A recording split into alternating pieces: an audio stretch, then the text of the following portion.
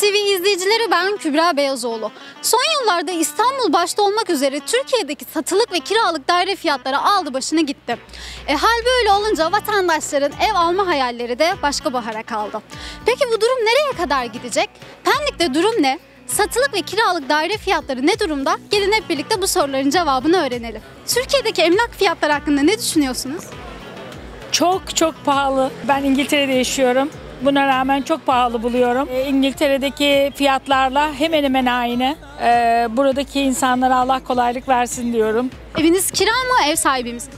Kira, kirada oturuyorum. Şükür Allah şimdi çalışıyoruz ama kira çok pahalı ya. Yani zam zamın üstüne, zam zamın üstüne. Peki oturduğunuz semtte kiralık daire hiç bulabiliyor musunuz? Gözünüze ilişiyor mu artık? Vallahi şu anlık hiç e, yani kiralık daireler yok. Yani geçen bizim bir arkadaş Zalca karı koca gittiler bir sitede kiraladılar. 5 milyar kira aylık. E peki bu ne çalışacak, ne yapacak? Hatta bu 5, 5 milyar artı aideti var, e, suyu var, dolu gazı var, elektriği var.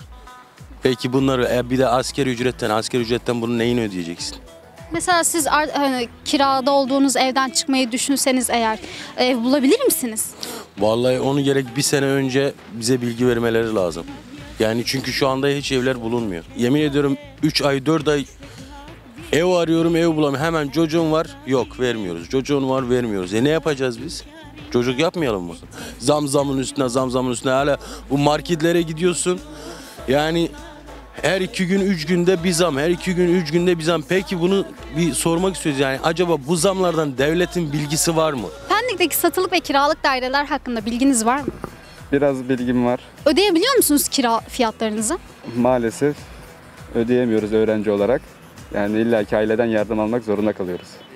Türkiye Cumhuriyeti'nin devleti buna bir el atması lazım. Çünkü niye? Bu gittikçe kiralar yükseldikçe vatandaşlar perişan oluyor. Çünkü alım gücü düşüyor. E bugün sen mesela bir ev alıyorsun 2 trilyon diyor. Ya bu ne oldu böyle? Yani 2 trilyon ne oldu? Yani bunun bu binanın maliyeti 300 milyar. Ver 500'e ver. Olmaz. Niye? Müteahhitler kazanacak. Aa bir de şu var.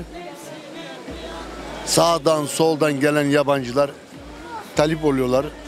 Evleri alıyorlar veyahut da kira onlar da Arap paraları bizde Türk parası. E onların parası bizimkiden yüksek olunca bu sefer bizimki eziliyor. Mesela Antalya'dan örnek verirsek Ukrayna Savaşı'ndan dolayı e, Antalya'ya gelen Ukraynalıların şehir merkezinde fiyatları 2-3 katına çıkardığını biliyorum. Kendi bizzat tanıdığımdan dolayı. Mesela şu anda bir 500-600 bin var artık en kötü ev yani. Daha fazla. E bunun yerine cidden bir karavan daha mantıklı ya. Harbiden diyorum.